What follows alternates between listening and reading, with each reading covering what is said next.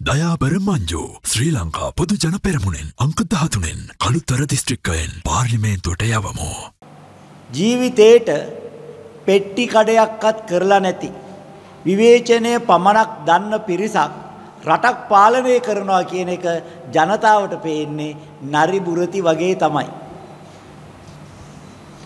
ඊයේ මාධ්‍ය හමුවක් පවත්වපු ජනතා විමුක්ති පෙරමුණේ ප්‍රධාන ලේකම් ටිල්වින් සිල්වා මැතිතුමා ප්‍රකාශ කළා උගන්ඩාවට අපේ ඩොලර් අරගෙන ගියා ඒවා යලි ගේනවා කියන කතන්දරේ කිව්වේ මාලිමාවේ අය නෙවෙයි සජව අයයි කියලා. එතකොට අපිට ප්‍රශ්න කීපයක් මතුවෙනවා. දැන් අපි දන්නවා උගන්ඩා කුමාරි කියන විරුදාවලියලත් නීතිඥ නිලන්ති කොට්ටිහච්චි මහත්මිය මේ වන විට මාලිමාවෙන් කළුතර දිස්ත්‍රික්කයට තරඟවදිනවා. ඉතින් එතුමිය දැන් ටෙල්වින් සිල්වා මැතිතුමාගේ තර්කය අනුව නම් නිලන්ති කොට්ටිහච්චි මාලිමාවේ කෙනෙක් නෙවෙයි සජබ කෙනෙක්.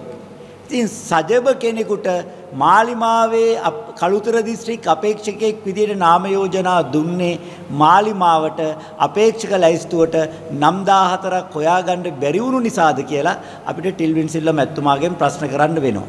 ඒ විතරක් නෙවෙයි වත්මන් ජනපති අනුර කුමාර දිසානායක මැතිතුමා 2021 දී උගන්ඩාවට ගුවන් යානා තුනක් ඩොලර් ගෙන යාම ගැන කතා කරනවා.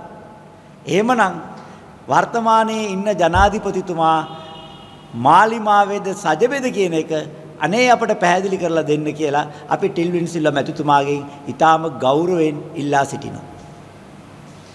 දසත සිසාරා විශ්වාසයේ සන්නාමය දසත නිවස් දවසේ දසත පැතිරුණු පුවත් ඇසිල්ලෙන් දැනගන්න දසත YouTube නාලිකාව සබස්ක්‍රයිබ් කරන්න.